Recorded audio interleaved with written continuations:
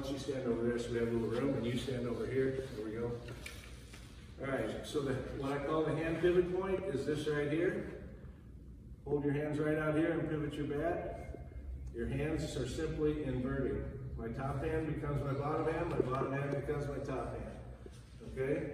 So when I hold it like this, tip it to the pitcher, and then untip it, I get some speed. Okay? Hold your hands still, untip it. Don't want our hands to move around, we just want a pivot here. Okay? This is basically how we swing the bat, only we don't do it from here. We hold our bat somewhere else, like right here, and now I'm gonna do the same thing, and I'm gonna let my leg turn as I do it. Very good. Don't push it. Leave your hands right here and turn it. Okay? I want you to hold this against your cheek right here. Okay?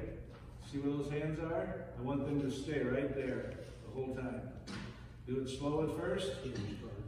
There you go. So you see your hands just kind of do this little half moon right below your chin. Okay? Now just keep doing that and work up the speed. And pretty soon you can just really snap it. Okay? You're, you need to turn your hands more. You're doing this. We need the hands to turn this all the way through. There you go. Get it to here. Get it to here. Yeah. Okay. Now it's it's a it's a simultaneous move. It's this. It's this and this all at the same time. Okay.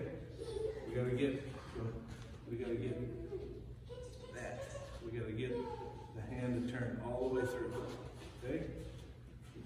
Okay. So if you had a T right here, you want this barrel in to go right to the T. Okay?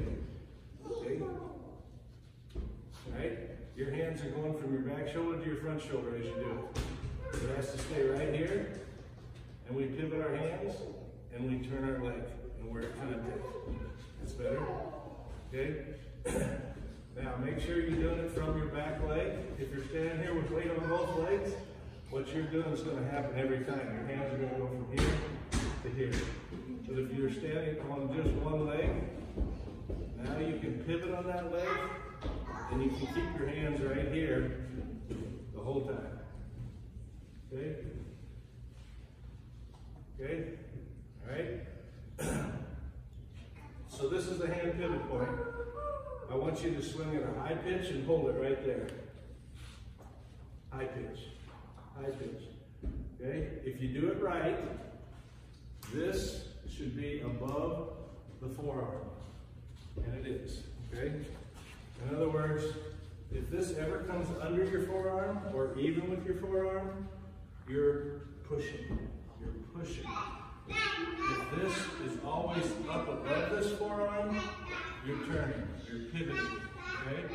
So, on a high pitch, I get the end of this above my forearm. Now I pitch down the middle, same thing, it's above my forearm. Very good. And a low pitch, same thing, it's above my forearm. So we'll get there. You have to understand that the hands, the forearms, is what swings our back, not our body. Most kids just want to swing their body, and when they do that, they drag their barrel until it gets about here, and then they push it. So that's a long swing. Okay? We need a tight pivot of our hands.